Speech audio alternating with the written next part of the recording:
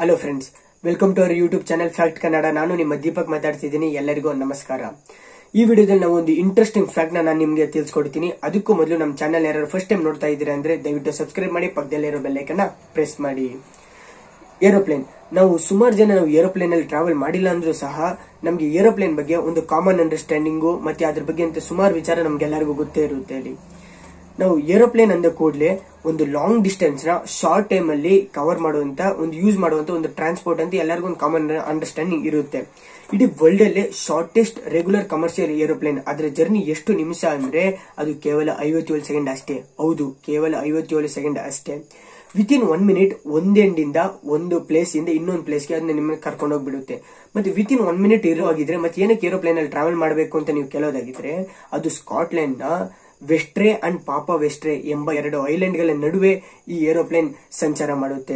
ಅದು ಕೇವಲ ಎರಡು ಪಾಯಿಂಟ್ ಏಳು ಕಿಲೋಮೀಟರ್ಗಳು ಅಷ್ಟೇ ಇರೋದು.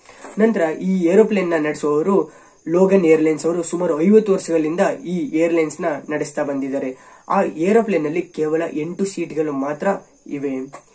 ಈ ಫ್ಯಾಕ್ಟ್ ನಿಮ್ಗೆ ಇಂಟ್ರೆಸ್ಟಿಂಗ್ ಅನ್ನಿಸ್ತಾರೆ ಅಮೇಸಿಂಗ್ ಅನ್ನಿಸ್ತಾರೆ ದಯವಿಟ್ಟು ಲೈಕ್ ಮಾಡಿ, ಶೇರ್ ಮಾಡಿ, ಕಮೆಂಟ್ ಮಾಡಿ. Thank you friends.